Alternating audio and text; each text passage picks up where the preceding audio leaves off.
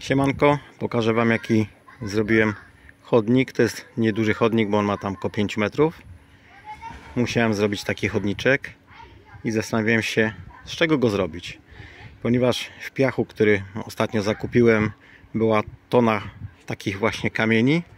Stwierdziłem, że ciekawie by było zrobić. Widziałem nad morzem takie chodniki. Właśnie taki chodnik z kamieni. Powiem Wam szczerze, że jak się wziąłem do roboty, zajęło mi to niecałe dwa dni.